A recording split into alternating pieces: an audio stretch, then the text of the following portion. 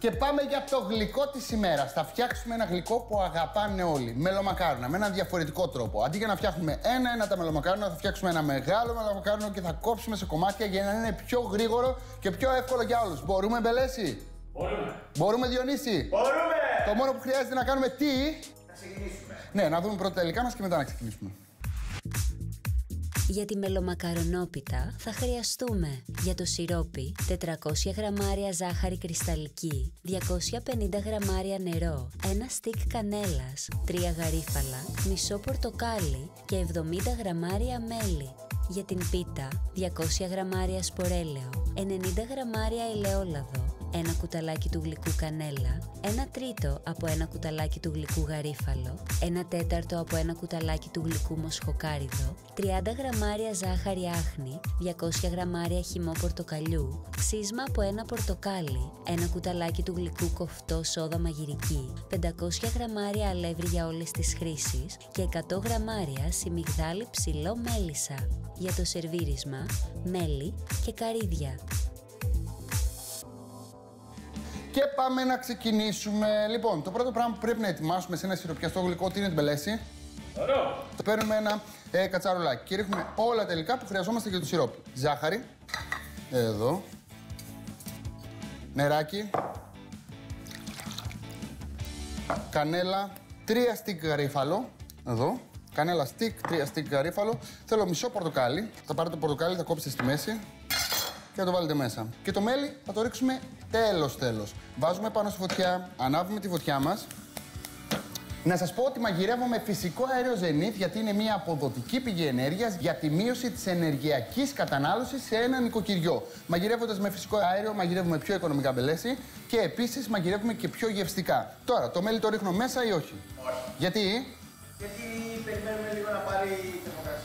Λοιπόν, κάνουμε μελομακάρονα. Οπότε θέλουμε να έχουμε γεύση με ιού. Άμα το μέλι το ρίξουμε στην αρχή και βράσει αρκετή ώρα μέσα, χάνει τα αρώματα του το μέλι. Οπότε δεν έχει γεύση μέλι το σιρόπι μας. Έχει, αλλά είναι λιγότερη από όσοι θέλουμε. Εμείς θέλουμε να το ρίξουμε στο τέλος, τέλος για να πάρουμε όλη τη γεύση από το μέλι. Το πιάστε; Μάλιστα. Μπράβο.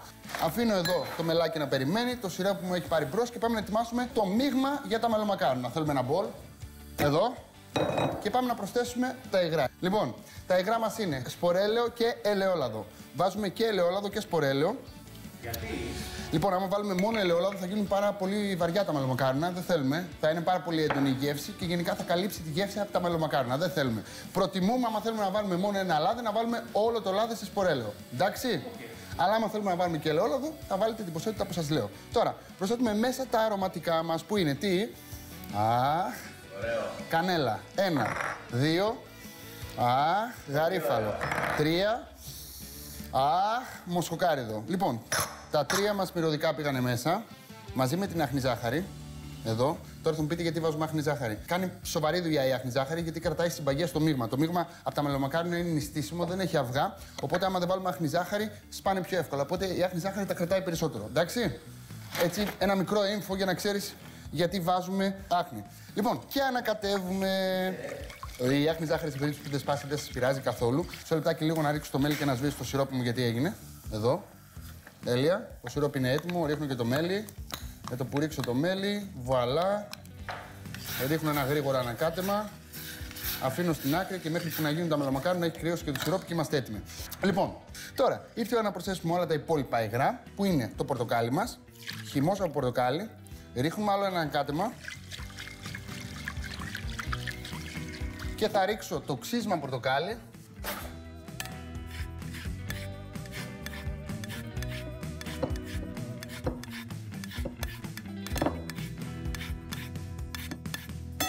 Ξύσμα από ένα πορτοκάλι και βέβαια τη σόδα μου.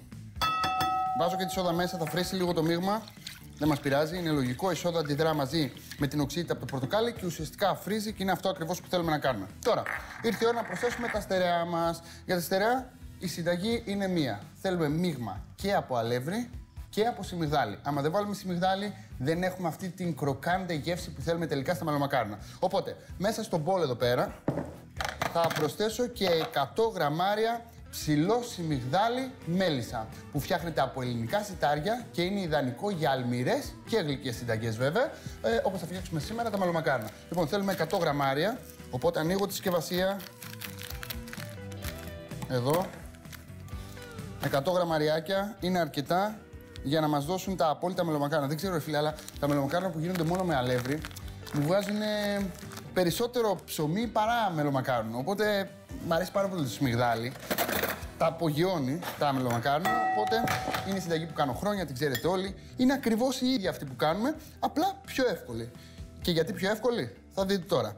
Λοιπόν, ανακατεύω τα στερεά μου μαζί, τα ρίχνω μέσα.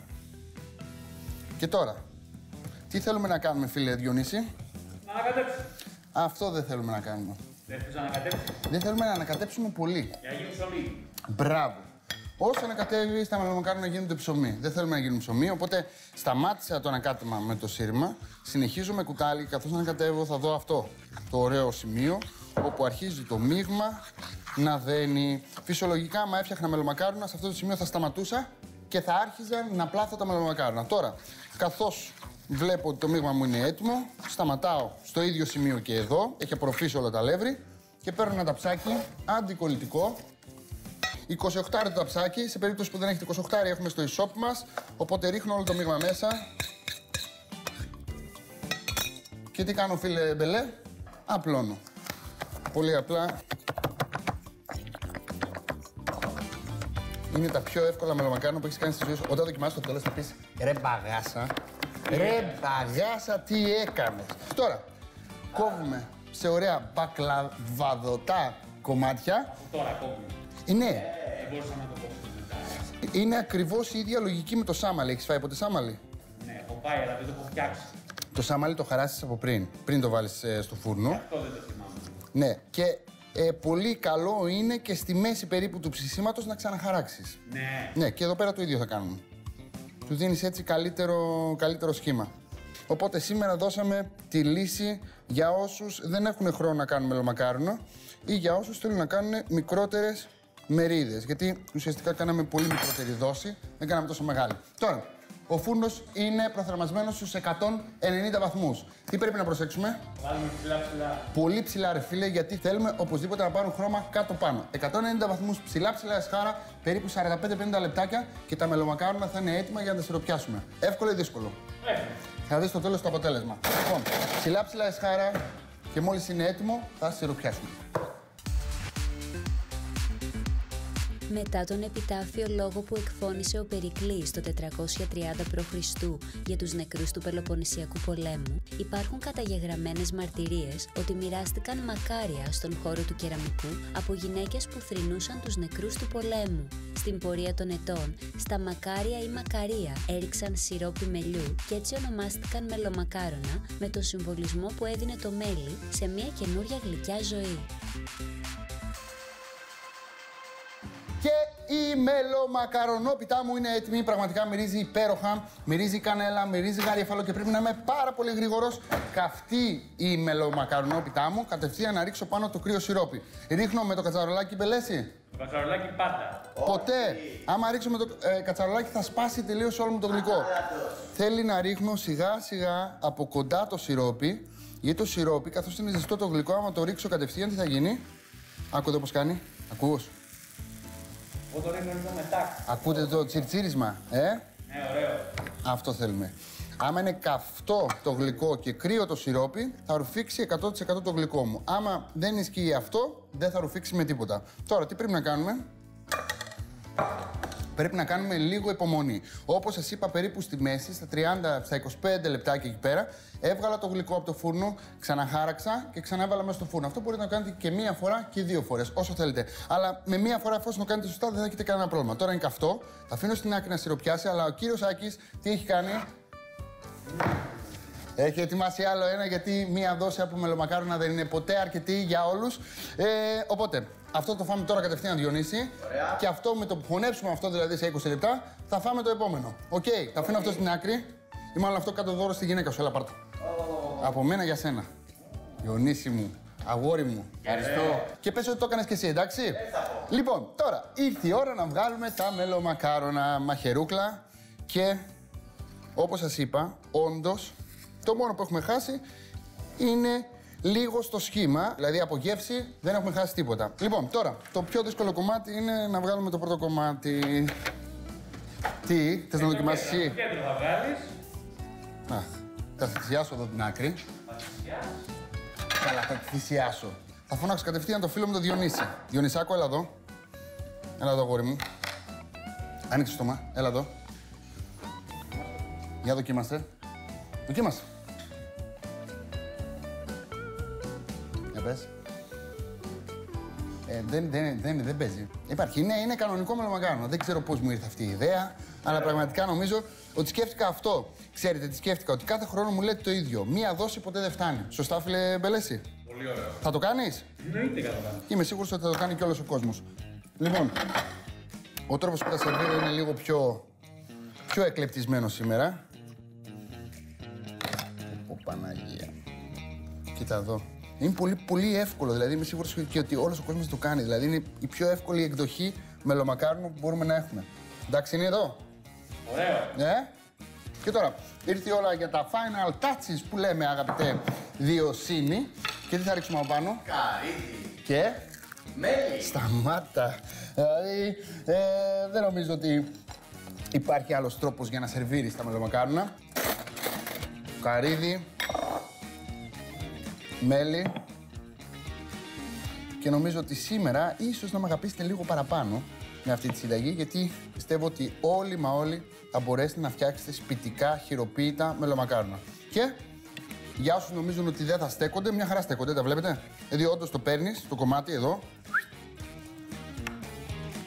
και το πας στη δουλειά και έχεις κανονικά μελομακάρονα. Απλά είναι άλλο σχήμα. Πειράζει; Δεν πειράζει. Καλή μας όρεξη. Χω, χω, χω. Merry Christmas. Για τη μελομακαρονόπιτα, σε κατσαρολάκι βάζουμε τη ζάχαρη, το νερό, την κανέλα, τα γαρίφαλα, το πορτοκάλι, μεταφέρουμε σε μέτρια φωτιά και αφήνουμε να πάρει μια βράση. Αφαιρούμε από τη φωτιά, βάζουμε το μέλι και αφήνουμε να κρυώσει. Σε μπολ βάζουμε το σπορέλαιο, το ελαιόλαδο, την κανέλα, το γαρίφαλο, το μοσχοκάριδο, την άχνη. Ανακατεύουμε, βάζουμε τον χυμό πορτοκαλιού, το ξύσμα, τη σόδα και ανακατεύουμε. Σε άλλο μπολ βάζουμε το αλεύρι, το σιμιγδάλι, ανακατεύουμε, μεταφέρουμε τα στερεά υλικά στο μπολ με τα υγρά και ανακατεύουμε απαλά. Μεταφέρουμε σε ταψί, απλώνουμε με τα χέρια, κόβουμε σε κομμάτια, ψήνουμε, αφαιρούμε και περιχύνουμε αμέσως με το κρύο σιρόπι με τη βοήθεια μιας κουτάλας. Αφήνουμε μία ώρα να απορροφηθεί το σιρόπι και σερβίρουμε με μέλι και καρύδια.